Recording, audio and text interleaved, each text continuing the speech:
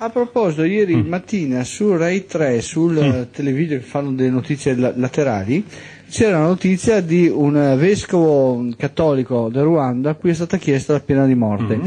Io quella notizia non l'ho più ritrovata sui giornali. Se qualcuno per caso dovesse trovare la notizia della richiesta di pena di morte per quel vescovo nel Ruanda, su qualche giornale me lo faccia sapere, perché ho l'impressione che alcuni giornali non pubblicano certe notizie perché io non faccia la segna stampa.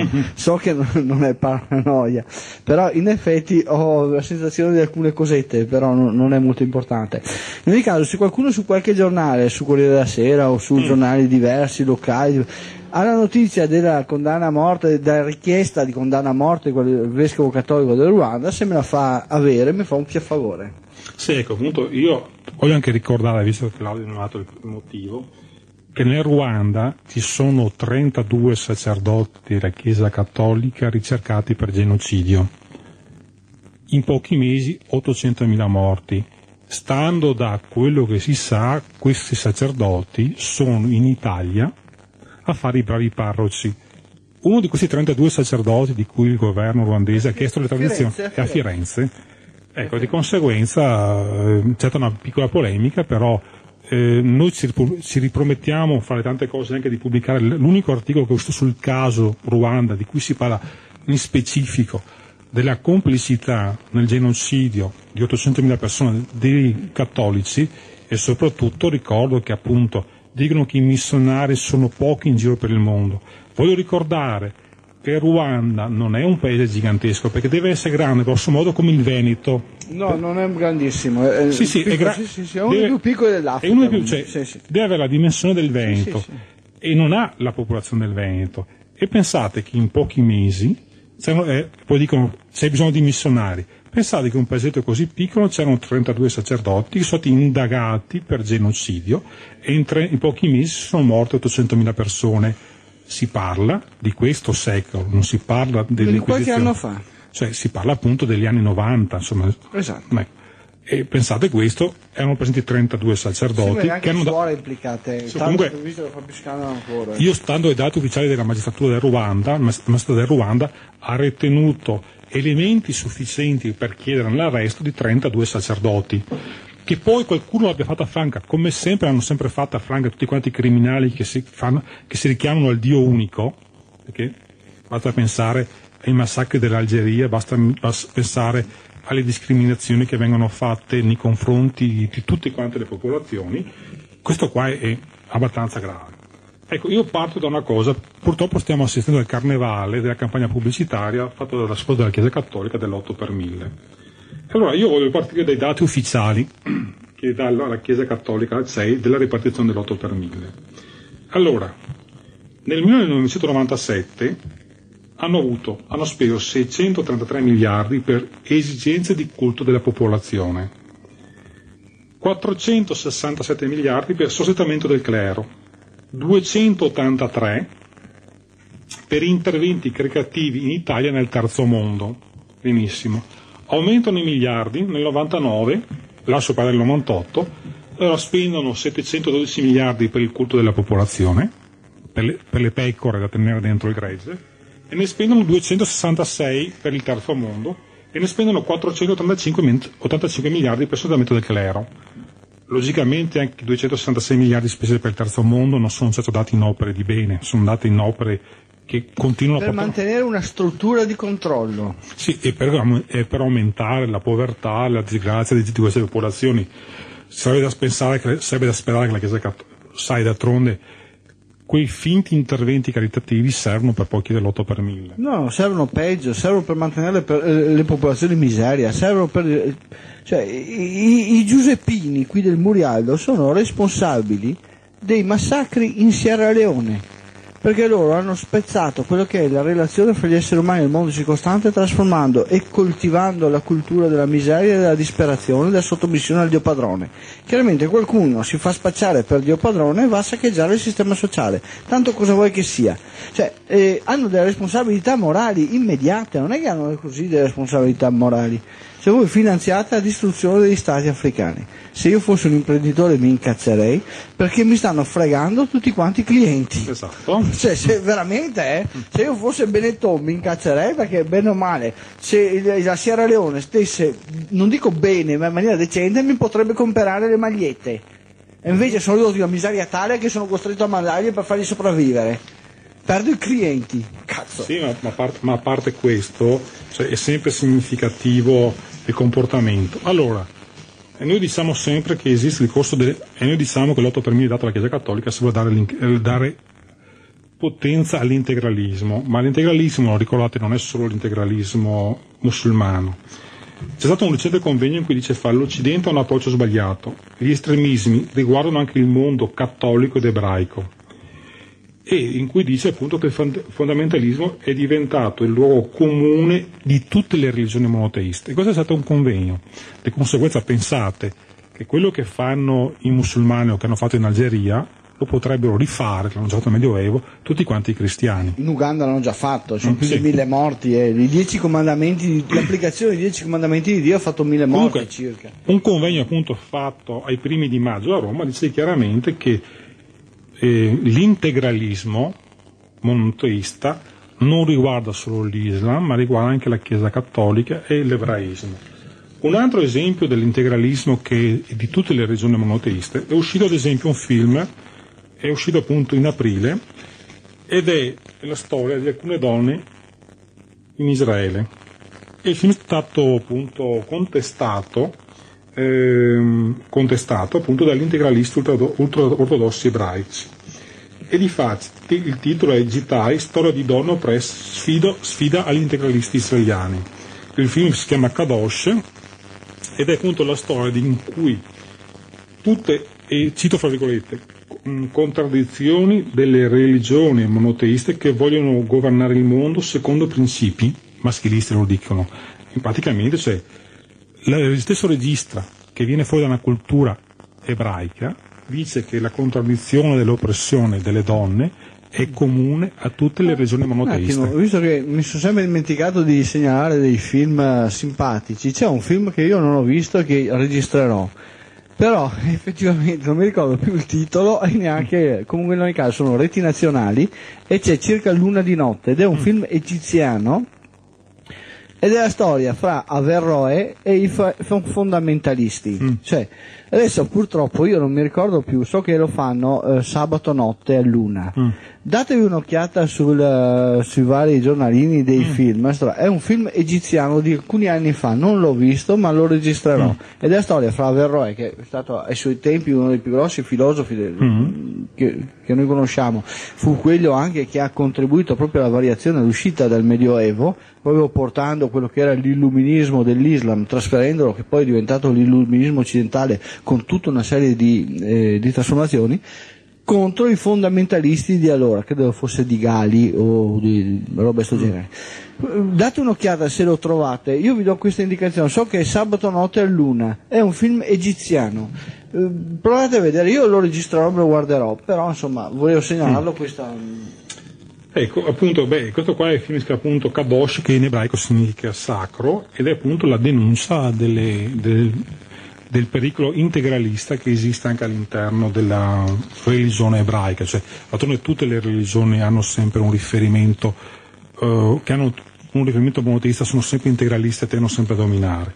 E poi, logicamente, il concetto è sempre quello dello sfruttamento, parlavamo appunto di Israele, e allora vediamo cosa succede una piccola notiziola. Immigrati, immigrati ridotti alla fame mangiano fauna selvatica.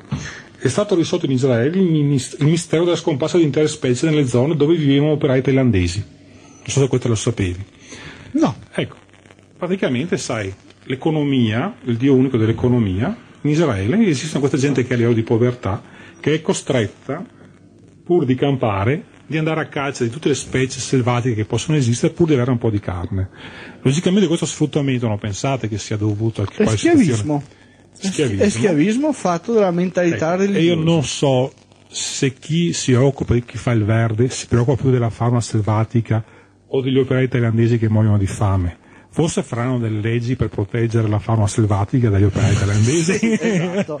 E magari diminuiranno lo stipendio perché devono ripristinare la fauna selvatica. Ecco, allora non so quale sia l'intervento migliore rispetto a questa condizione. In effetti eh, la natura dice che l'essere Mm. umano deve togliersi dalla posizione in ginocchio in cui il dio monoteista lo mette perché in questo modo si Mm. può salvare la natura. Tanto più l'essere umano è in ginocchio, tanto più è sottomesso, tanto più la natura sarà saccheggiata. E questo è il messaggio dell'anticristo, tanto per essere Sì, chiari. no, ma visto- infatti ma questo appunto l'ho voluto citare appunto perché dimostra un, un- cioè, un attimino cosa significa una- quando si va a impostare su principi monoteisti anche l'economia, cioè nel senso che lo sfruttamento diventa la regola e la base e di conseguenza si farà tutto pur di ottenere un profitto perché il profitto rende benevoli davanti a Dio. Logicamente, sai, in- se in Italia fosse possibile lo farebbero anche in Italia perché sicuramente quelli che sfrutterebbero darebbero l'8 per mille alla Chiesa Cattolica. sicuramente. Sì, siamo, cioè in effetti riflettete un attimino. Eh, io vi ho già detto un paio di volte, ho detto parecchie volte, nel senso che fra la vita e l'orrore, cioè quello che impedisce all'orrore di invadere la vita siamo rimasti io, Francesco e pochi altri. E purtroppo è così, cioè è così nel senso che c'è una non attenzione rispetto a tutte le cose che ci stanno accadendo attorno. Cioè piccole cose in realtà sono grandi segnali eh, dell'orrore che sta riavanzando. Sappiamo che esiste anche molta vita che, sta, che, che sta incubando, che, che sta germinando, che sta germogliando. Però eh, fra eh, questo, fra l'orrore che sta avanzando e la vita che tenta di germinare, siamo rimasti solo io, Francesco e pochi altri. Perché questo? Perché siamo attenti a tutto quello che ci sta eh, succedendo attorno. Cioè a noi non ci sta bene eh, di far finta di non vedere Hitler in birreria, così non ci sta bene di far finta che in Ruanda non è successo niente, che l'8 per 1000 sia solo pochi soldi, che un'azione, lo schiaffo al bambino o, o, la, fami- o la famiglia dei ruoli sia soltanto un'idea. Noi sappiamo che queste cose sono orribili e continuiamo ad indicarle perché da queste cose nascerà l'orrore che va a invadere il sistema sociale. Per cui quando vi diciamo che noi pagani e tutti gli altri hanno venduto il culo, cioè tutti si sono ritirati, partiti politici, comunisti, rivoluzionari, eh, destra, sinistra, populisti, eh, operaisti, sindacalisti, tutti si sono ritirati e tutti hanno perso l'attenzione rispetto a queste cose. Ehm, Basta vedere il concerto dei sindacati a Roma, l'hanno venduto al giubileo, i sindacati portava- la- portavano in piazza 600.000 persone, al giubileo, a quel concerto del giubileo sono andate 200.000, cioè hanno venduto anche se stessi al cattolicesimo e hanno venduto se stessi a- all'orrore, alla morte, alla distruzione. Cioè, vi- torno a ripetere, fra l'orrore e la vita, la barriera la stiamo tenendo io e Francesco affinché l'orrore non dilaghi. Non c'è molta altre persone in giro, eh? Non ce ne sono molte altre. Vai pure Francesco. Ecco, io appunto dando il discorso del carnevale del giubileo fallimentare. Ci sono anche gli dei però che ci sorreggono un tanto. Eh, diamo, un'altra, diamo un'altra dimensione del discorso appunto vabbè, della dimensione fallimentare del giubileo. Ma eh, c'è stato appunto uno delle solite carnevalate, quelle della consacrazione di qualche nuovo santo, di qualche nuovo beato. Allora, eh, non, molto- non molti giorni fa, il- quella maschera bianca che è in Vaticano, hanno beatificato, santificato, poi insomma sono sempre criminali cristiani, questo è secondario. Hanno il culto di una veggente polacca. Benissimo. Su- pochi giornali hanno portato un dato molto interessante. Il Vaticano ufficializza il culto della veggente polacca proibito dalla congregazione della fede nel 1958. Cioè, questo Papa ha reso beato o santo, adesso non so cosa, cioè, Sì, fatti loro. eh. Infatti loro comunque ha dato importanza, venerabile quello che può essere, a una persona che nel 1958 la congregazione per la dottrina della fede aveva messo C'è al bando. l'inquisizione. Mm. Beh, ma scusa, sa, anche Giovanna d'Arco prima l'hanno bruciata dopo le fatta santa. Vabbè, d'accordo. Eh, però questo qua è successo nel 1958, non è successo 600 anni fa, 400 anni fa. Quello che voglio dire, c'è qualcuno ci viene a raccontare la storia che la Chiesa Cattolica chiede scusa. Sì, ma anche Stefani ce l'hanno fatto santo nonostante i campi di sterminio in Croazia, dai, eh, siamo seri. Sì. In fondo il santo che cos'è? Non è altro che la vittoria del Vaticano, cioè del cattolicesimo, sulla vita. Sì. Faranno santa la macellaia dell'India perché? Perché comprava e vendeva bambini, non per le cosiddette, quello che venderanno, come, mm. ma perché lei comprando e vendendo bambini ha costretto milioni di bambini ad essere battezzati, li ha costretti in ginocchio. Questa è stata la gloria della Chiesa. Hanno fatto santi 50 personaggi eh, in Vietnam, mm. no? che tentavano di evangelizzare i buddisti. Mm. Perché? Perché hanno messo in ginocchio migliaia di bambini. Mm. Cioè, il concetto è questo sì. della santificazione. Sì, ma vedi, io voglio appunto anche proseguire su un altro discorso. Eh, noi sappiamo benissimo che eh, tutte le religioni monoteiste, pur di avere il dominio, il controllo, di avere le gregge, hanno degli ottimi salti in banchi, cioè nel senso che sono capaci di fare qualsiasi astrusità dal punto di vista del concetto, della teologia, del riferimento culturale, pur di avere il gregge dentro, dentro l'ovile. E ora pensate, 1958 proibiscono un culto, nel 2000, 42 anni dopo, questo culto fa bene perché tiene dentro le pecore e lo vanno a riabilitare. Ma voi pensate che voi mi venite a raccontare, molti cattolici mi raccontare, fa, ma il Papa ha chiesto scusa, scusa, se nel 58 vieti un culto e dopo 42 anni lo ripristini, quanto tempo ci vuole per dire ci siamo sbagliati nel pensare che, di farvi credere che chiedevamo scusa? La Chiesa Cattolica non ha mai sbagliato e secondo le Sacre Scritture non sbaglierà mai. Eh, esatto. Eh, sì. Ma questo qua dimostra quanto sia credibile, cioè io, noi l'abbiamo sempre detto, il cristianesimo è una miseria, è uno squallore, è un orrore e questo lo ripeteremo sempre. E questo qua faranno qualsiasi cosa, vi racconteranno qualsiasi cosa, vi prometteranno qualsiasi cosa. D'altronde vi già di quello di promettere la vita eterna. e c'è chi ci crede alla vita eterna soltanto perché ti fai fregare di essere cristiano. Eh, cioè, un, un, un veggente che è stato messo sotto processo perché lui vedeva la Madonna e, ha, e ha detto che eh, spunteranno i fiori, naturalmente mm. qualcuno dall'albero, naturalmente qualcuno l'ha denunciato per abuso della credibilità mm. popolare e lui davanti al giudice ha detto ma sì ma anche il Papa crede in Dio e voi non lo processate giustamente è stato assolto sì beh infatti eh, eh, mi sembra corretto anche tutto sommato. Stato di promettere la vita eterna. Lui prometteva in fondo solo i fiori che sbocciassero insomma. Eh, era più, più materiale cioè più, più logico quasi quasi. Sì, era anche più facile che succedesse. Esatto. Esatto. Sì no ma infatti faranno qualsiasi cosa prometteranno qualsiasi cosa purché voi rinunciate a essere voi stessi. Cioè nel senso che la loro volontà è questa. Cioè nel senso saranno disposti a qualsiasi conciliazione dal punto di vista teorico, dal punto di vista dottrinale, saranno capaci di diventarsi qualsiasi cosa dal punto di vista del dialogo intercumenico, interfede, tra i fedeli, saranno capaci di modificare la Bibbia come vorranno, saranno capaci di dare delle interpretazioni incredibili, fa- fantastiche, cioè, faranno gli effetti speciali sulla Bibbia. L'importante non è frega tanto di quello che è scritto, l'importante è sempre il dominio, il gregge e che le persone rinuncino a cercare con la loro testa. Poi fanno i film facendo vedere che bravo che è il loro Gesù, dimenticandosi che si chiama fiction, cioè si chiama sì. finzione, in realtà è un misero assassino miserabile assassino, vabbè. Sì, ma difatti poi vedi, è classico, cioè loro possono inventarsi qualsiasi cosa, quando ormai la cosa non è più sostenibile sono capaci benissimo di modificarla, di ammettere che hanno falsificato. Sì, ma infatti, sì, beh, sai, erano i tempi, erano le condizioni, non era vero che il sole girava attorno alla terra, ma sai, era vabbè, altri, tempi, altri eh, tempi, sì. Altri tempi, poi abbiamo bruciacchiato, vabbè, ma cosa vuoi che sia? Sì, abbiamo, abbiamo, fatto un severo eh. interrogatorio che poi significava tortura, ma d'altronde, dai. Cosa vuoi che sia? Sì, insomma, ma, eh, i, i, tempi erano così, i eh, tempi erano così per loro, per loro, non erano così che per gli altri, perché infatti sul gioco astuto che fanno loro dicono fa, ma d'altronde era un comportamento tipico di quei tempi. Esatto. Ma io voglio. Ma solo loro però. Era il loro comportamento, loro, loro hanno l'arroganza di dire che il loro esatto. comportamento era il comportamento di tutti. Perché ad esempio, e noi lo ripeteremo sempre, le streghe non avevano bisogno di andare alla caccia al prete. Ah, eh, un cristiano, un, mm. non so, un cristiano a destra magari mandava l'indirizzo del sito dicendo se poteva chiacchierare con me o discutere con me su cose, su cose religiose, anche se contrario Naturalmente no. Mm. Gli dirò di rivolgersi a qualche strega bruciata se lei è d'accordo. Sta bella. Sì, ma questo è, classico, cioè nel senso che loro hanno sempre poi la necessità di salvare gli altri o di rompere le scatole agli altri.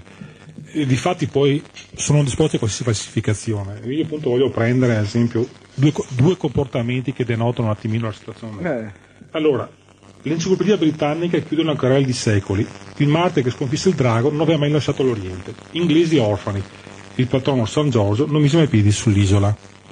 Sì, ma questa storia di questo Giorgio in realtà non è mai esistito. Esatto. E hanno dovuto cancellarlo dal, dal calendario perché chiaramente è come Gennaro, non è mai esistito, no? Il problema è che lo usavano a simbolo di non so quante cose, Sì. per cui sono, sono rimasti orfani, della- Mhm. orfani di quello che avevano. Cioè, Sì, ma allora ri- ricolleghiamo le cose. eh, Inventano appunto un santo, utilizzano un santo, Sì. lo portano avanti, lo Sì. gonfiano, lo spingono, lo sostengono. sì, La gente diventa devota, Sì. la gente si sottomette, la gente viene Sì. fregata e rinuncia. Con un discorso puramente eh, fittizio, irreale. Prendiamo ad esempio un altro dato che è ben più significativo, è ben più corrente e ben più attuale. Ad esempio, prendo ad esempio dal, dal, um, dal settimanale Avvenimenti che ne edicola oggi, che c'è un articolo appunto sulle stanze segrete del Museo Archeologico di Napoli. Sono state riaperte le stanze segrete del Museo Archeologico di Napoli, quelle che erano state addirittura murate perché considerate oscene, uno specchio nascosto che ci mostra quanto siano cambiati in tema di sesso dal drammatico giorno dell'agosto del 79 d.C., quando la lava di Vesuvio seppellì Pompei ed Ercolano. Ecco, pensate che di fronte alla manifestazione di una cultura che trova normale certi comportamenti, arrivano al punto di considerarlo museo segreto, di chiuderlo, di murarlo. E questo vomito che ha fatto il Vesuvio quella volta è stata la più grande sfiga che hanno avuto i cristiani. Perché è vero che ha massacrato una popolazione e ha fatto quello che ha fatto, il vulcano non è responsabile, però cioè, se uno va a costruirsi a casa sotto il vulcano si è fatti i suoi. E il problema è che ha mh, bloccato un'intera civiltà, cioè ha bloccato una, una giornata di vita, no? Quando adesso ci sono i mezzi per eliminare questo, si sta scoprendo com'era la vita di allora. Cioè si sta scoprendo che esisteva la medicina, che esistevano le terme curative, che esistevano gli ospedali, che dopo il vulcano l'imperatore ha fatto i soccorsi ai sopravvissuti, si sta scoprendo che c'era una struttura sociale, si sta scoprendo che c'era la ginecologia, che c'era la medicina, che c'era la chirurgia, che c'era l'oculistica, che c'erano i dentisti, si sta scoprendo che eh, gli schiavi erano stipendiati perché ci sono le cose di stipendio, che pertanto il termine schiavo era molto relativo, si sta scoprendo che la vita godereccia, il godere la vita era una regola per tutti, non semplicemente per chi se lo poteva permettere e vietata agli altri, si sta scoprendo che la gente si lavava tutti i giorni, un paio di volte al giorno, comunque era pulita, si sta scoprendo che c'era il piacere di vivere. E questa è la sfiga dei cristiani, che loro hanno detto, noi è come gli altri, hanno- pensa il faraone che metteva le persone in ginocchio, tutti adorare il faraone, col cazzo. C'erano i sistemi, i sistemi di vita in Egitto, ma rispetto al Medioevo erano sfavillanti. Sì. Non che non si diffusero i casini, i soperi, Sì. i so problemi e, e- e- la merda da cavar via, ma erano sfavillanti rispetto al Medioevo. E, e appunto a Napoli si sta a Napoli a, a, Ercolano- a Ercolano eh, si sta scoprendo che in fondo agli antichi piaceva vivere, ma tutti vivevano, Esatto. cioè tutti vivevano bene, chiaramente il più ricco viveva forse meglio del più povero, indubbiamente, ma c'era il benessere, la- il piacere della vita per tutti. Sì, e soprattutto c'era la necessità anche di raffigurarla, di rappresentarla, cioè Eh nel sì, senso... perché era divino, no? il piacere è Sì. divino. Ma di fatto appunto eh, è proprio classico di tutti quanti i monoteisti che tendono sempre a nascondere le cose. Difatti, sai, ogni monoteismo tende sempre allo squallore, al grigiore dell'es- dell'esistenza, nel senso eh, che non si penserà mai, ad esempio, alla bellezza dell'arte, non si penserà mai alla città impostata in una certa maniera, perché d'altronde tutto deve essere legato all'aldilà, tutto deve essere legato a un punto in cui sarà un Dio a decidere. Invece i- nell'antichità c'era proprio il concetto che la propria vita andava vissuta al meglio, cioè nelle condizioni migliori e queste condizioni migliori dovevano essere di tutta la popolazione, non solo di una minoranza. Esistevano logicamente delle differenze ed era na- naturale che esistevano le differenze, però si rendeva conto che soltanto con una partecipazione collettiva di tutti alle stesse possibilità c'era la possibilità di migliorare la vita. E tenetevi duri perché è stata scoperta in una villa la biblioteca latina. Secondo il costume di quel tempo, la biblioteca latina stava da un lato della stanza, la biblioteca greca stava dall'altro lato della stanza. E si è cominciato a srotolare quei rotoli che purtroppo sono inceneriti, però con le tecniche moderne qualcosa si riesce ancora a leggere. Per cui teniamoci un pochino duri. Credo che se si scoprirà la biblioteca greca sarà la più grande scoperta del millennio, forse neanche del secolo dal punto di vista archeologico. Per cui teniamoci duri, teniamoci duri. Francesco, diamo via le telefonate? Se vuoi diamo via le Vi ricordo che il numero di telefono è 049 700 700 e 049 700 838. Pronto? Pronto? Sì? Sì, ciao, sono Marco. Ciao. Ciao dimmi. A proposito di pericolosità della Chiesa o dell'8 per 1000, eccetera, no? A Roma eh, ho sentito ci sono delle. Io, non lo sapevo, ma adesso che lo so mi, mi rode dentro.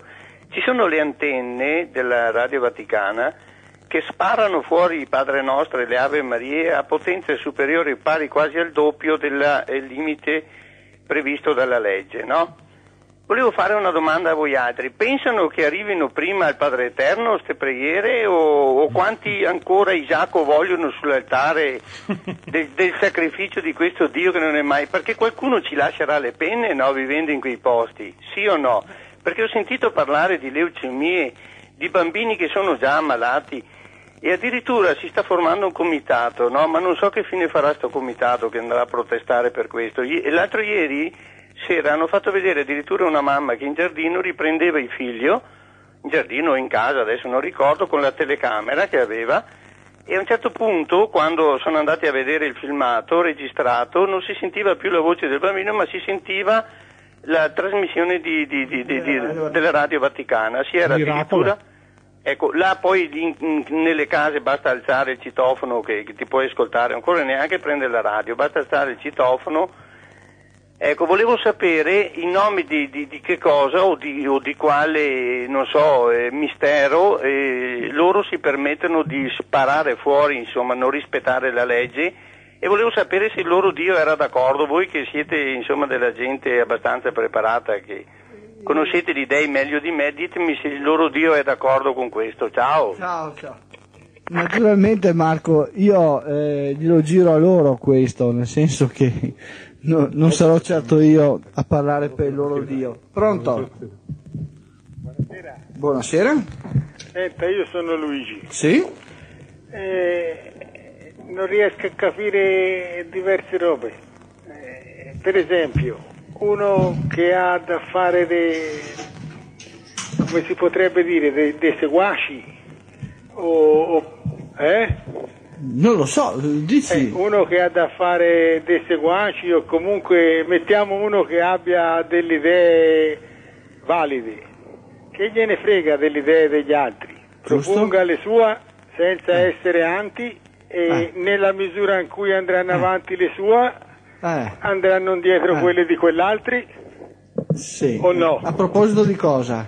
No, perché per esempio voi siete Eh. sempre contro, Eh. contro la Chiesa Cattolica, no? Noi descriviamo il male. Per descrivere il Sì, male vabbè, bisogna ricorrere a per- questo. Ma mi pare che sia in 5 o 6 le chiese che prendono l'8 per 1000. Infatti, Sì, sì, ma a noi interessa aspetti, relativamente. aspetti, eh. quando finisce le chiese c'è lo Stato che prende l'8 per 1000. Speriamo che lo prenda lo Stato, noi facciamo in modo che lo prenda lo Stato. Eh, e, e lo, e lo Stato che fa con quell'8 per 1000? Eh, Se un partito mm, non va bene, un altro Perché- partito prenderà il potere, non Eh, c'è una verità. perché, perché, perché, bisogna, perché se lo prende lo Stato bisogna, oltre a dire che fa di male la, la Chiesa Cattolica con quell'altro 8 per 1000, bisogna dire che cosa fa di bene lo Stato con quell'8 per 1000. Eh, noi ci occupiamo di cioè, religione. quest'otto per 1000 qualcuno lo prende. Lo, sta- lo Stato utilizza, lo che- Stato lo utilizza per il recupero dei beni culturali.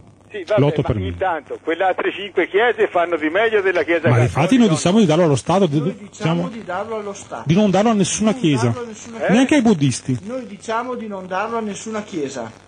Sì, vabbè, ma comunque voi avete criticato solo la Chiesa Cattolica, giusto? Sì, e continueremo a criticare solo la Chiesa Cattolica. Boh, ecco, allora qui, qui siamo a posto se è accertato intanto questo, Vabbè, che di quell'altro non me ne frega nulla. certo. Boh, allora intanto c'è questo. Poi poi ce n'è un'altra, quella di terremoto. È vero che, che si scopre tante robe con quella giornata di terremoto, anche se a Tarquinia c'era delle stanze, almeno da quello che mi ricordo io, che erano solo per adulti. È vero? Sì? È vero? Mm? Eh. Sì, sì, ah, gli Etruschi erano Sì, bravissimi, sì, eh, certo. ma c'è delle stanze nel museo solo per adulti. Esatto, è vero. Eh, ma lasciamo stare questa parentesi di terremoto. Ora, la domanda più importante non è come vivevano, ma perché non l'hanno ricostruita? Perché con tutti gli affari che poteva fare l'imperatore che dava le sovvenzioni che Eh. Sì, dite voi, sì, sì.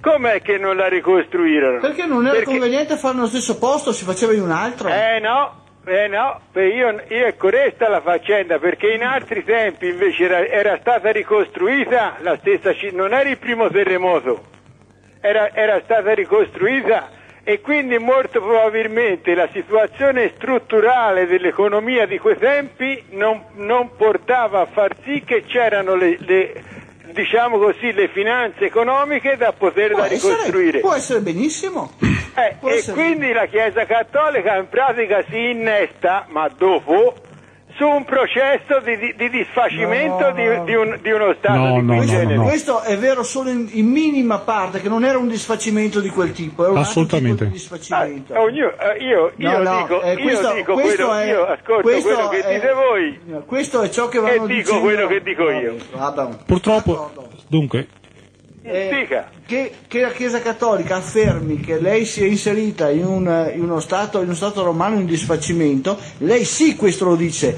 ma non dimenticarti che i Vandali, A- Alarico e tutti gli altri popoli che stavano arrivando, quasi tutti, erano tutti cristiani, cioè i, i- i- i barbari che arrivavano erano cristiani, spesso ariani ma cristiani, per cui tutto quello che era il disfacimento era il disfacimento dovuto dal cristianesimo, tanto per essere chiari. È il cristianesimo che ha organizzato la distruzione sistematica dell'impero romano. Non che non sarebbe comunque andato distrutto per altre condizioni e altre cause, ma il cattolicesimo, il cristianesimo ha organizzato la distruzione sistematica dell'impero. Eh, Mm. E allora gli fa un'altra domanda. Siccome lei dice che i soldi dell'8 per 1000 la Chiesa Cattolica ne adopera una parte per, per co- per costringere ancora, come ha detto, per sottomettere, Sì, per, sì, sì, per Sì. comprare il bestiame umano. eh, per, per controllare appunto, per controllare. Ma controllare in funzione di che? Del proprio dominio. Del dominio. Del proprio peso Di- del dominio sociale. suo? Sì. Eh, ma a me risulta che il capitalismo sia anche dove non c'è la Chiesa Cattolica. Questo è un altro discorso ancora Eh, sarebbe? oltre. Eh, Bisogna vedere il capitalismo dove ha preso i riferimenti. Senti, eh, senti, senti, senti, senti, senti qua. Allora, attenzione, attenzione. Ogni cosa che qui esiste Eh. è sempre una derivazione del cattolicesimo, sempre. Anche un respiro di anche un anarchico è sempre Eh. un cristiano. Cioè l'anarchico non è che non sia cristiano, Ah. che poi neghi Dio, neghi le- l'esistenza di un paradiso, ma i suoi concetti comportamentali, il suo modo di valutare la vita è sempre cristiano. Quello che noi dobbiamo andare è Ho, fin dal ho fuori da capito, questo. cioè anche un ateo che ruba è sempre colpa di Papa. Certo. certo, Boh, siamo a posto allora. Eh, siamo a posto in questa maniera Va bene. e, e- uno ha sempre ragione. Ok, ciao. No, ciao. ciao. Vabbè. Pronto? Sì? Paolo, Ciao, dimmi. ciao, ciao, ciao. ciao anche a te Francesco. Allora, mi avevo fatto un attimino piccolo elenco degli attivi. Comunque il sequoia, che è un sostantivo, ai 6, 7, 8 mila anni se non erro, la sua vita. Ecco, io penso al sequoia con molta umiltà e per la sua grandezza, diciamo, del sequoia, ho un'adorazione per le piante, specialmente di una certa età. Per contro loro ti danno, quelli vestiti di nero, ti danno tristezza, malinconia, nostalgia, miseria, ignoranza, sottomissione, prostrazione e umiliazione. Ti bastano questi E per far questo vogliono anche essere pagati. Certo. paura, creano paura, la paura della paura inspiegabile in un tempo razionale e incredibile per conto mio è. Quindi allu- allucinazioni e basta. Quindi sono questi i roghi moderni, li ho intitolati così. Vi saluto, ciao. Ciao. anche, anche Kung ha detto questo. Pronto? Io. Sì? Ciao, salve concittadino, sono Dimmi, Marco, dimmi ciao Francesco. tutto. Ciao. Senti, voglio eh, che mi spiegassi la, la figura di padre Al- Alex Tanotelli, ex direttore di Nigrizia, no? Chi, chi, chi? Che lavora in Kenya, fa il missionario. Ah, ma guarda, Eh, io, si io fa non tanta seguo, io questa persona, no? Io non seguo queste persone Mi qua. spieghi, Mm. eh? Io non seguo molto queste persone perché, perché queste persone qua, dopo aver diffuso l'AIDS in tutta l'Africa, Mm. gli si fa bei con la miseria che loro stessi che Mm, costruire. E continuano a costruire. Ho capito, no, non- non voglio fare eh, l'avvocato d'ufficio a questa persona, cioè voglio sapere perché si fa tanto posi- cioè, pubblicità positiva a questa persona qua, anche a Francesco penso che sia al corrente di questo, no? Cioè io che ho fatto un'operazione eh, che multinazionali se Dio soffocare i paesi del terzo mondo, Sì. Dio magari tutte le risorse, io poche risorse che ha. Esatto, e loro hanno Cioè- preparato il terreno perché ciò avvenisse. E continuano a prepararlo. Farlo. E loro preparano il terreno perché ciò avvenga. Le multinazionali non fanno altro che inserirsi su quello che è il lavoro cristiano, sono cristiane in se stesse e fanno parte tutta della stessa strategia di distruzione umana di cui il cristianesimo non è altro che strategia complessiva. Sì, sì, perché tutti dicono, eh, ma c'è sempre quel prete che si salva, c'è Sì, sempre l'eccezione c'è- che fa la regola. sì. Ma non si sa, Sempre un è, è uno str- di morte è che- sempre uno strumento di dominio alla fine. Sì, beh, sicuramente. Cioè, lui ah, mi ricordo una frase, no? Che ha detto in, tele- in televisione, eh, al TG1, eh, mi pare un anno fa, che c'è stato quel convegno a Firenze, parlavano del debito estero, Mm. i paesi del terzo mondo, ha detto che dobbiamo far sparire tutte le multinazionali ah, in, questa- in questa- in questa- eh, in questo pianeta. Rimarrebbe solo la Chiesa come l'unica multinazionale Esatto. della Mm. carità. Sì, Non è vero? è vero. Sì, quindi pensa, se lasciamo spazio a queste persone qua, cosa, ci- cosa farebbero a- al resto dell'umanità? Sì, sì, no, sarebbe- Non solo ai paesi più poveri, ma anche a noi. Cioè, mh, quello, Ci che, quello che non si riesce a capire è questo, è che... Scusa, sul telefono- Sì, d'accordo. Mm. Ciao, Ciao, ciao, ciao. Eh, io voglio dire solo questo. Se le multinazionali e se il capitalismo eh, rampante, capita- il capitalismo ha sempre bisogno anche di eh, chi compra le merci, cioè ha bisogno di costruire le condizioni affinché le merci vengano comprate. Per cui il peggiore dei capitalismi è sempre migliore del clericalismo, Esatto. perché il clericalismo, la Chiesa Cattolica ha un solo fine ed è quello la costruzione della miseria. Costruire la miseria per vendere carità. Il capitalismo invece ha anche bisogno di chi vada a comprare le merci, cioè ha bisogno di dare uno stipendio perché gli stipendiati comprano le merci che lui vende e così si costruisce la ricchezza. Pertanto il capitalismo è comunque un passo avanti rispetto al cattolicesimo. Nonostante questo il capitalismo ha bisogno del cattolicesimo Mhm, te, perché è migliorativo rispetto a una situazione che può peggiorare. Allora, meglio le multinazionali in India che fanno bhopal con tutta la merda che possono fare, che non la macellaia dell'India, Teresa di Calcutta, che te fa milioni di morti solo per il gusto di fare milioni di morti e ad avere il potere e la soddisfazione di fare milioni di morti. Sì, no, Ok. ma, io, ma io, il comportamento che poi esistono, diciamo, preti che sembrano, perché nessun prete è buono, che sembrano migliori degli altri, e anche una strategia di dominio, cioè nel senso che si cerca alla fine di dire è impossibile opporsi a noi perché noi ti diamo la possibilità di rimanere legati. Faccio un esempio di attualità. Sono stati 500 anni della scoperta del Brasile e subito i cardinali e i vescovi ehm, brasiliani a festeggiare la scoperta perché è servita ha a scoprire il Brasile e anche per dare il via all'evangelizzazione del Brasile e anche per portare la parola della salvezza al Brasile. Benissimo, c'è stato qualche cattolico che ha detto fa no, perché bisogna essere un attimino più riflessivi, non aver festeggiato, in questa maniera perché sono delle violenze verso, verso gli indios. Benissimo, sia i cardinali sia che questi cattolici che dicevano che è stata delle violenze verso gli indios, alla fine erano fedeli al Papa, erano fedeli alla Chiesa, ma la cosa peggiore erano fedeli al Dio creatore. Di conseguenza, il loro comportamento è come il cane che corre a destra per spingere le pecore e il cane che corre a sinistra per spingere le pecore dentro l'ovile. Cioè, a me non importa che il cane corra a destra o corra a sinistra, a me interessa che alla fine il- il- tutti quanti i cani, pur, ci può essere il cane, il cane che fa male sul lavoro, ma alla fine dà un contributo agli altri per mantenere le persone dentro il gregge. E poi il pastore li può macellare. Di conseguenza a me non me ne frega niente che ci sia un prete che si dice, è tutto da vedere, che si comporti in una certa maniera. Questo prete non fa nulla per rimuovere i comportamenti della struttura cui fa parte per ricreare la povertà. E anzi lui diventa santo perché la Chiesa Cattolica ha creato la povertà e lui può giustificare se stesso, la propria missione. E la Chiesa della Cattolica, Chiesa, missione della Chiesa Cattolica con l'aiuto che lui dà a queste persone povere. Boh, chiudiamo qui la trasmissione, questa è la trasmissione Magia Stragoneria Paganesimo, sono le 16.30, Mario non si vede, andiamo avanti con un po' di pubblicità intanto e poi metteremo su qualcosa, vedremo un attimo cosa faremo. Vi ricordo che io sono Claudio Simeoni, il mio indirizzo è Piazzale Parmesano 8 Marghera, l'indirizzo dell'Istituto Mediterraneo Studi Politeisti è casella postale 53 Marostica Vicenza. Francesco, se hai da dire ancora una parola, io ho la pubblicità pronta per partire. Sì, no, se ma vuoi io dico due cose. Ciao a tutti, vi ricordo alle ore 19 vi parlerò Sì, beh, contro la reincarnazione. c'è, ne, ne- ne approfittiamo per pochi secondi. E noi appunto avevamo parlato sull'altra trasmissione della festa di Beltane. Bene, in settimana ho avuto una documentazione da Verona in cui già nel 94 la Proloco del posto organizza per il periodo di agosto dei fuochi di 13 comuni sui monti della Lissinia. E questo era un antico rituale delle popolazioni del luogo ripreso dal 94 in poi e a quanto so probabilmente beh, lo fanno non con finalità religiose, verrà riproposto anche quest'anno.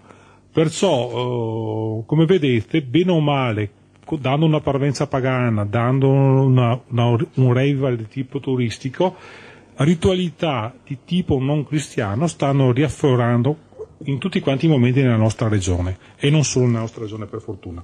Voglio ricordare un'altra cosa, è uscito Micromega, è un volume 8, questo è abbastanza interessante questo numero perché parla di filosofia e religione e c'è anche un intervento appunto di vari, di vari autori, purtroppo la maggioranza sono sempre di area cattolica, però c'è un intervento abbastanza bello di Umberto Galimberti che dal titolo fa Nessun Dio ci può salvare ed è appunto una polemica fatta dal punto di vista della tecnologia al discorso cristiano. Per chi eh, invece vuole storie un po' più forti è uscito negli Stati Uniti un bel libretto ed è la storia dei preti assassini. Beh, casomai questo daremo un'informazione migliore. E c'è una scena molto bella che- in cui c'è un prete che ammazza due parrocchiani e poi, molto commosso, ne fa il sermone funerario, mm, logicamente un po' sacerdote, insomma. Buon, ciao a tutti, ciao appuntamento tutti. alle ore 19 con contro la reincarnazione, naturalmente, è il nostro punto di vista. Ciao a tutti e a risentirci. Ciao.